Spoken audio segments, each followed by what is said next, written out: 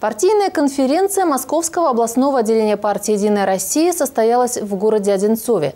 Члены партии собрались вместе, чтобы подвести итоги работы за этот год и определить задачи на год грядущий.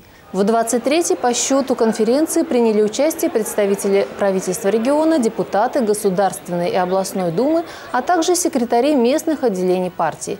Всего около 300 человек – в их числе и представители Ленинского района. Спикеры отметили высокую эффективность работы членов партии в важных для страны и области мероприятиях.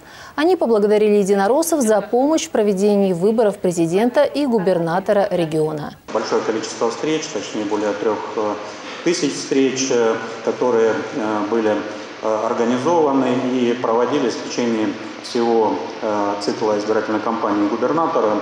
И эти цифры говорят сами за себя, но самое главное, что качество этих, как, какое было качество этих встреч и э, подготовка.